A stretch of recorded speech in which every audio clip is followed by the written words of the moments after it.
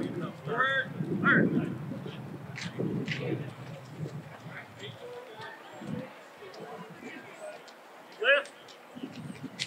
Lift.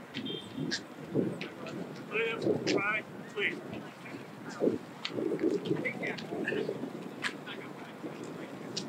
All right. All right.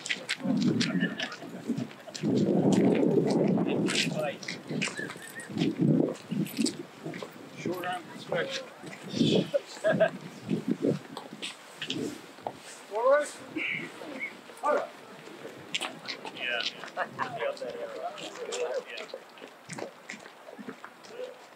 Hi, kid. Hey, Bob. Hello. Yeah,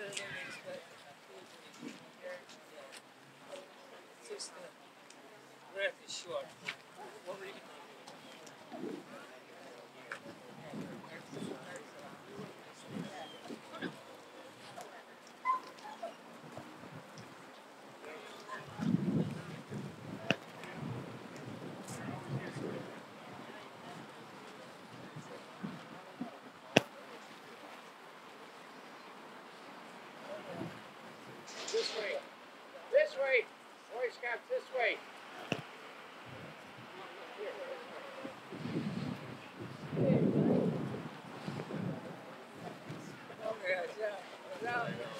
Here.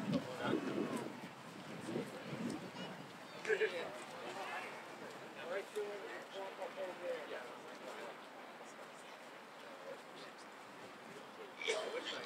That's it. I'm gonna say yeah. Yeah. Come on, guys.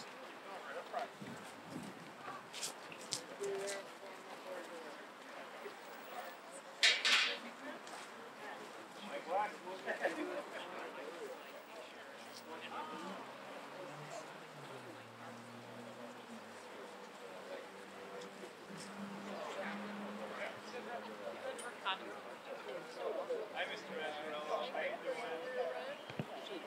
Right here. Chris. Huh? Me. I'm sorry, I lose it. Ha! Proof, red dress.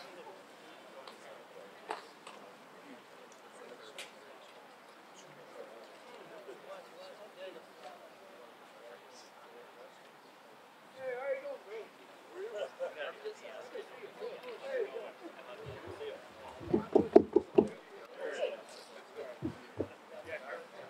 All right, folks, we'll be starting our ceremony as soon as the bells from the church toll when they finish tolling. So, welcome I'll just say welcome to our Veterans Day service here in East Longmeadow.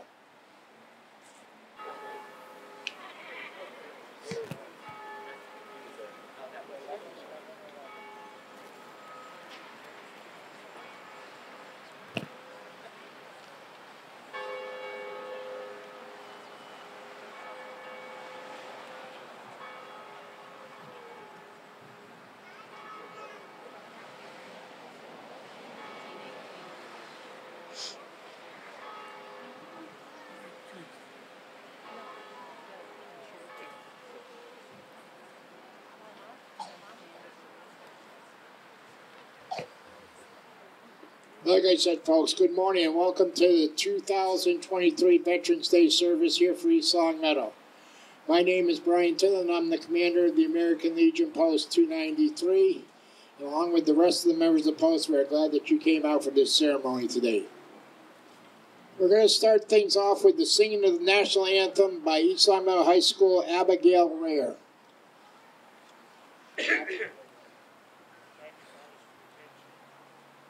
Group and hood.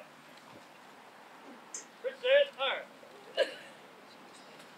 Oh, say, can you see by the dawn's early light what so proudly we hailed?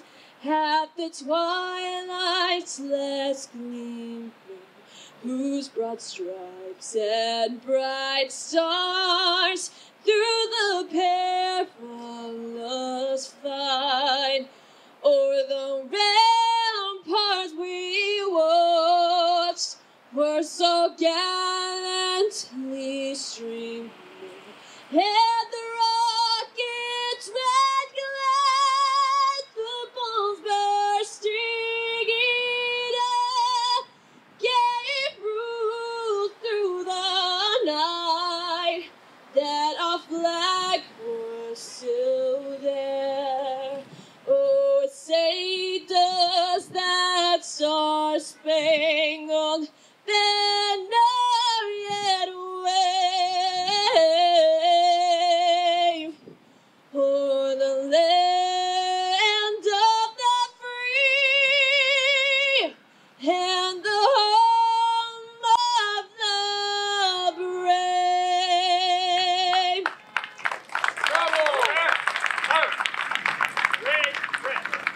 Thank you, Abby. Wasn't that wonderful, folks? Let's give her another hand. All right, Abby will be back later to sing God Bless America. But right now we're going to move on to the Pledge of Allegiance, led by the Boy Scout Troop 179 and 272.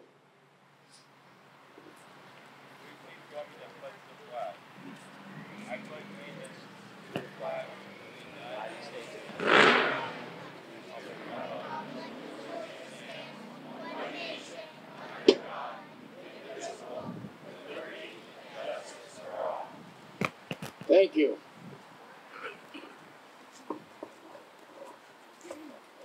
I would like now have American Legion Post Chaplain Glenn Trevline come up and say an opening prayer. On color.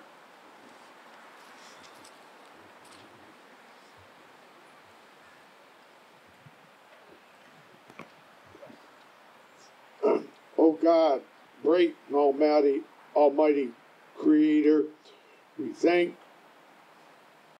and praise you for the freedoms we enjoy in our country and pray that our liberties will continue to be protected.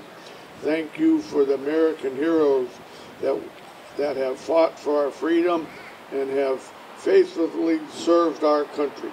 We honor all our veterans for their sacrifices and their courage and integrity.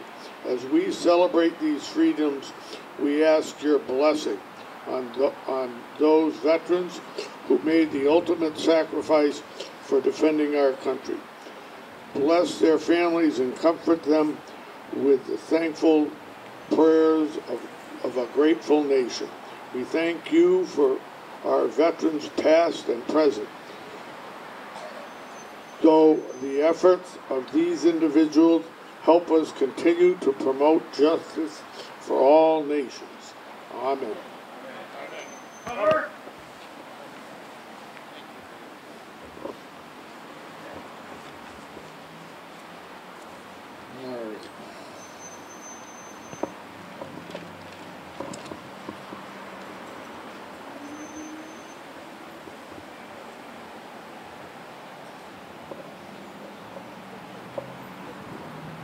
Okay, folks. Like I said, my name's Brian Tidland, and I'm the commander of the American Legion Post 293 here in town.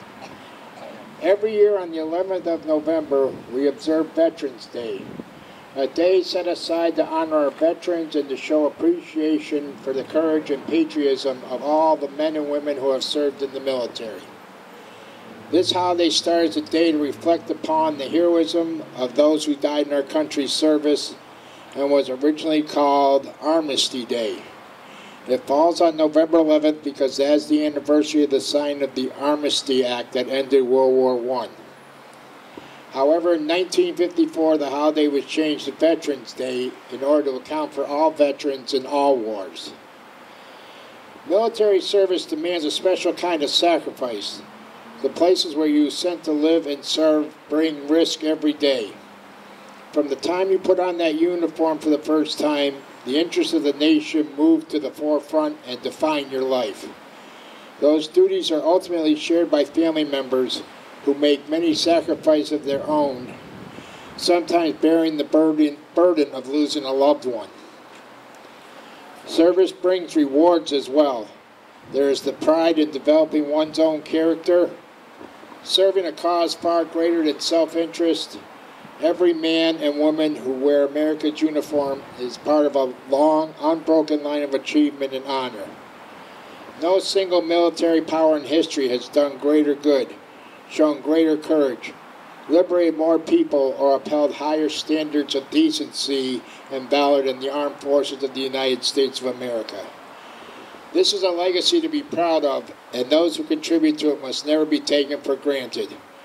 To honor our veterans, we must keep the promises we have made to them. We must care for those who have been injured in the service of our country. We must honor and remember those who have died, and we must remember those whose fate is still undetermined. We fly the prisoner of war flag on Veterans Day for a reason to show that this nation will not relent until we have accounted for every last minute of our missing Americans.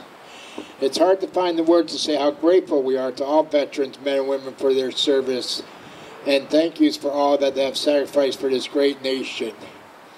And thank them for being the backbone of America. So, what I say today in conclusion, ladies and gentlemen, is if you see a veteran, go up to them and say thank you for their service. It really makes their day, and it'll make your day too because we are all proud to have served at one time or another for this great country to defend the freedoms that we all enjoy. So remember what Veterans Day is for. Some people have lost track of that, but with you people here today, I know that you've remembered what Veterans Day stands for. So, like I said, if you see a veteran, thank them. It really does make your day. And may God bless you and America. Thank you.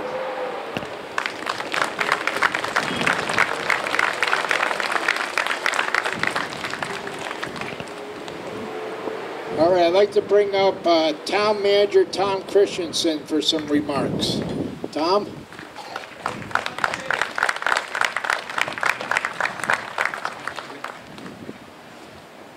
Good morning, everybody.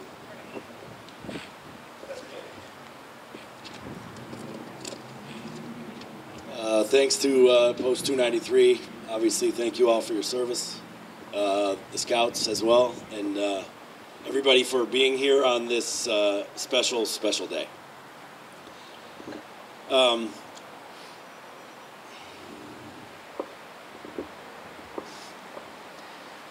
a hero is defined as a person who is admired or idealized for courage, outstanding achievements, or noble qualities.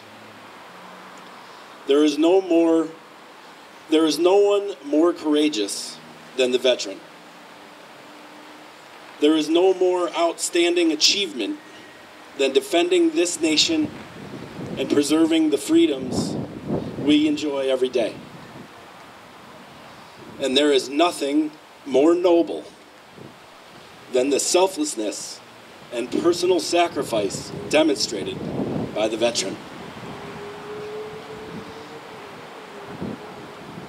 The unwavering commitment exhibited by our heroes in uniform commands and demands our respect and gratitude, not just today, but every day.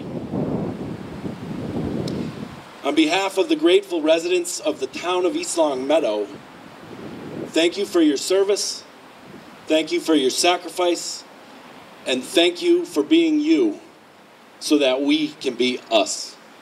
Thank you.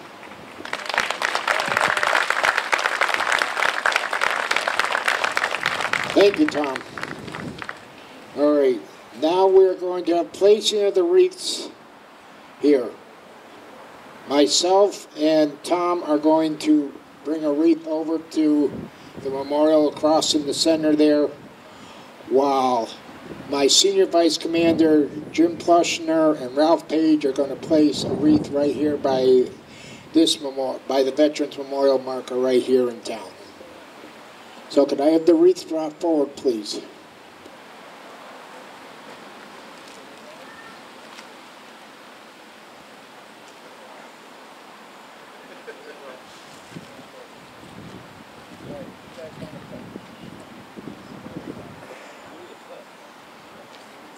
is. I got it right here. There we go. All right, you guys can place yours there. We're gonna go across the street. Proof is lit.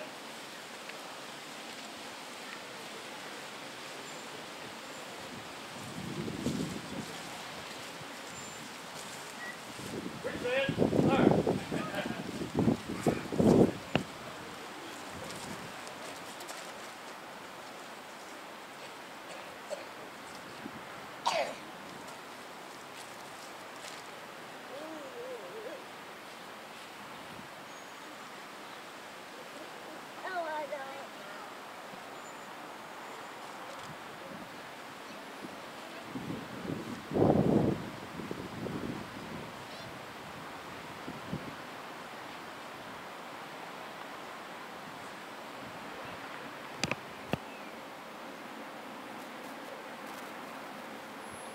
Order.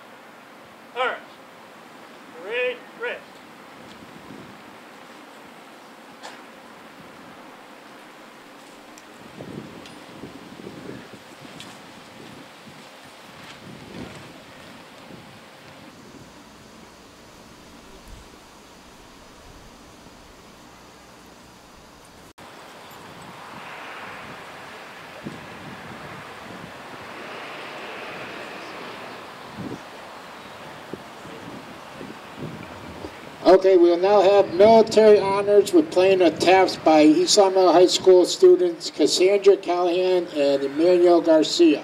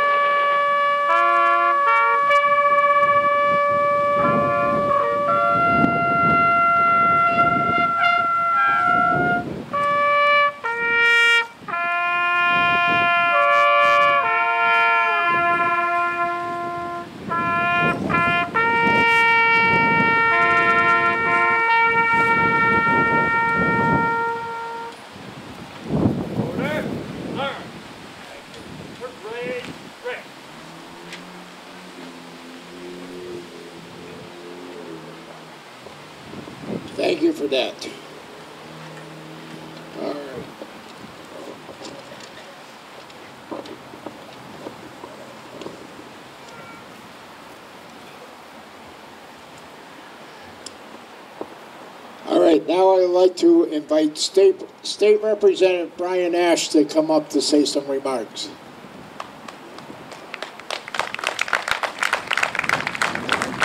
Thank you, Brian. Good morning, everyone. Uh, first, well, thank you, Brian, for everything you do.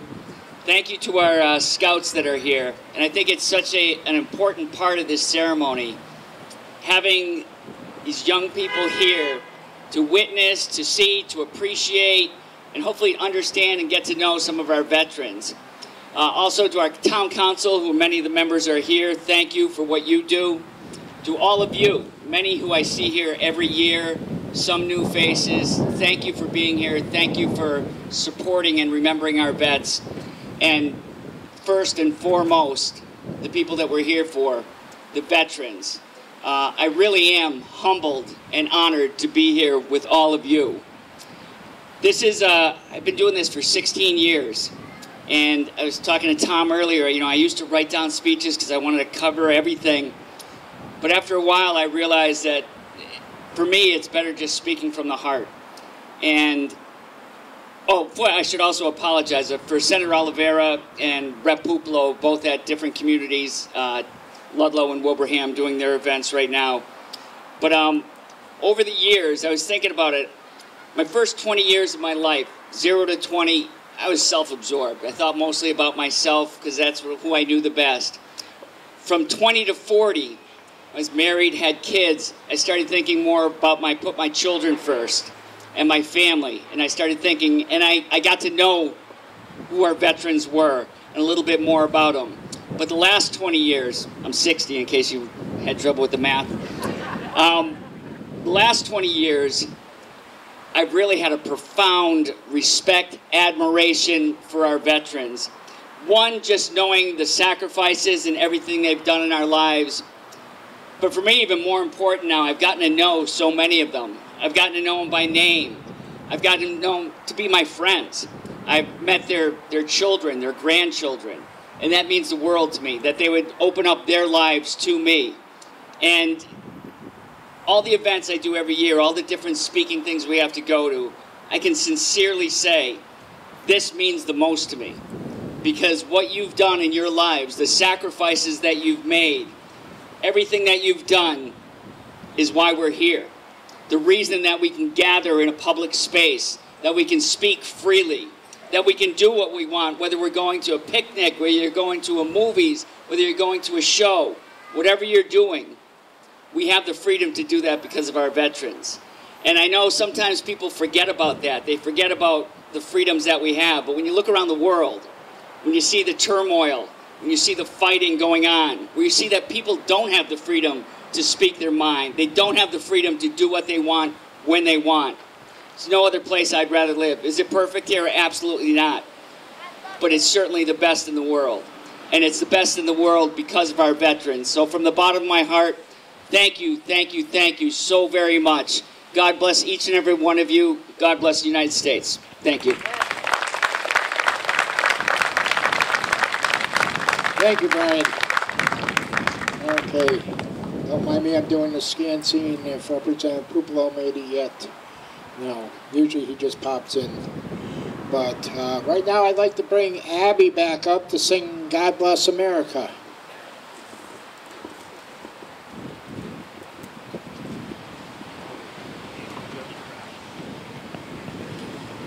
God bless America, land that I love.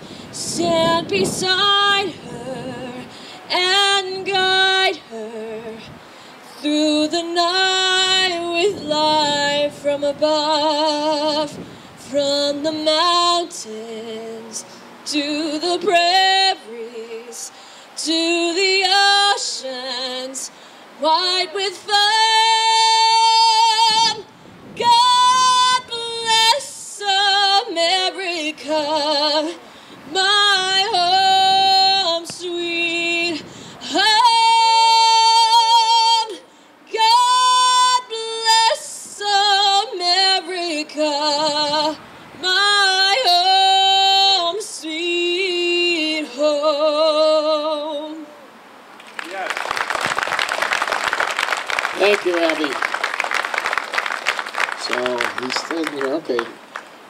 Well, now I'd like to wrap up our ceremony by giving thanks to Abby, our singer, for our trumpeters for taps, Cassandra and Emmanuel, Boy Scout Troop 272 and 179 for uh, coming out today for here. To all of you for showing up. To all the veterans from American Legion Post 293, and we also have veterans from the Sister Lombardi Italian American Veterans Organization here with us today too. So let's hear it for them.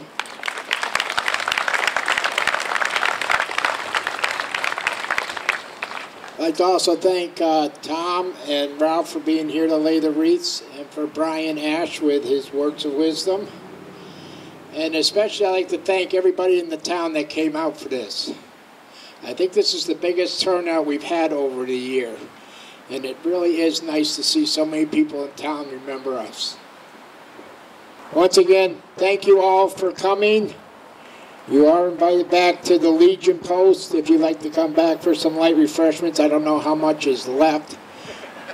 because I'll tell you right now, these Boy Scouts have an appetite over here, so. But anybody's more than welcome to come back to visit, say hi, or whatever, have a cocktail, have some orange juice coffee, or whatever's left of the donuts and the danishes. Thank you once again for coming out, and have a great day today.